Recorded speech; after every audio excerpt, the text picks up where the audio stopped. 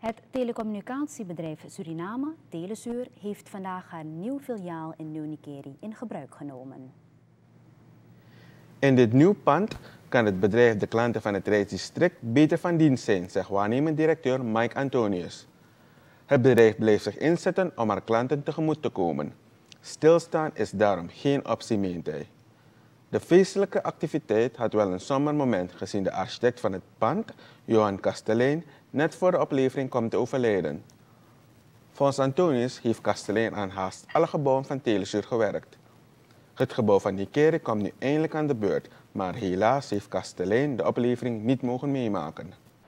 Dit is een van de laatste bouwwerken van de heer Kastelein.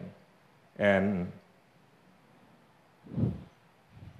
ik word er natuurlijk een beetje ontroerd van. Het is een man die veel aan onze gebouwen gewerkt heeft. En vandaag zijn we hier op een moment waar hij ook in ons midden zou zijn. Het is anders verlopen. En ook hier zullen wij ons bij neer moeten leggen. Maar het kan niet anders dat wij hier wel melding van maken. Ik gaf daar net aan dat het voor deze periode voor ons als directie eentje is die heel veel uitdagingen met zich meebrengt, heel veel uitdagingen op ons pad. We hebben zeer ambitieuze plannen.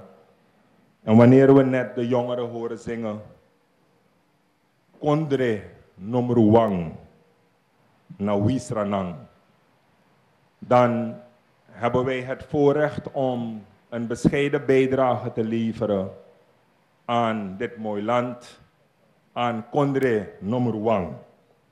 Volgens Antonius moet de dienstverlening van Telesuur ook in het reisdistrict verbeterd worden. De stappen daarvoor zijn met de oplevering van het nieuwe pand gezet. Filiaalmanager Dennis Nielem is trots om te werken in het mooiste kantoorgebouw van Nikeri. De hele constructie, uh, trouwens, uh, het is echt ruimtelijk opgezet. Uh, zoals je ziet, de klanten kunnen we lekker ontvangen en een goede treatment geven. En we, zijn, we komen namelijk van een situatie waarbij die klanten echt opgepakt stonden, zaten. En dus die ruimte hebben we nou. En dus alles is daar helemaal goed. Alles is helemaal goed nu. Dus we gaan zeker die service geven. Oké, het personeel is enthousiast, je ziet het.